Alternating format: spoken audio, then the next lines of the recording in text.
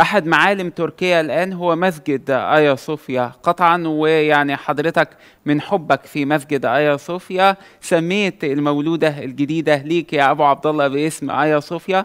مبروك نعم. قطعا على المولودة الجديدة. ربنا يرزقك برها يا رب ويحفظها ويبارك لك فيها. ليه آيا سميتها بالاسم ده يا أبو عبد الله؟ عفوا؟ ليه سميتها آيا صوفيا؟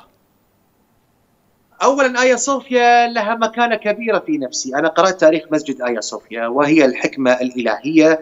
آه وأنا أساسا عندي بنتي فرقان وفرقان القرآن والحكمة أيضا من القرآن. وصوفيا هي الحكمة. فجمعت نعم. ما بين القرآن والحكمة، فايا صوفيا قصة المسجد.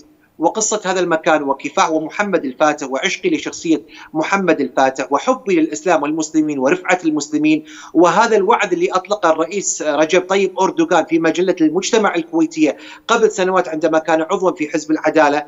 وحقق هذا الوعد وكان رجل صادقا مع نفسه وأرجع ايا صوفيا للإسلام وللمسلمين فكانت رفعة واستشعرت بالنشوة واستشعرت بالفرحة وحبي لهذا النصر الكبير اللي حققناه، ربما يقول البعض هي ما يعني ما, ما هو النصر، لا هي شغلة معنوية لكن تشعرنا بالأمل بأن نستطيع أن نعيد أمجادنا، نستطيع أن نعيد قرناطة، نستعيد نستطيع أن نعيد أمجادنا في الأندلس، فهذه هويتنا الإسلامية.